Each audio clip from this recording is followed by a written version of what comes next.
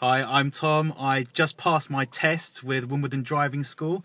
I had my instructor Kevin. Um, he was pretty rubbish, and I was pretty good, so I did him a favour. No, but in all honesty, he was absolutely amazing. I'm so chuffed, and uh, I recommend this to anybody. Actually, get on the phone to Wimbledon Driving School and even speak to, to Kevin. He'll pass you first time.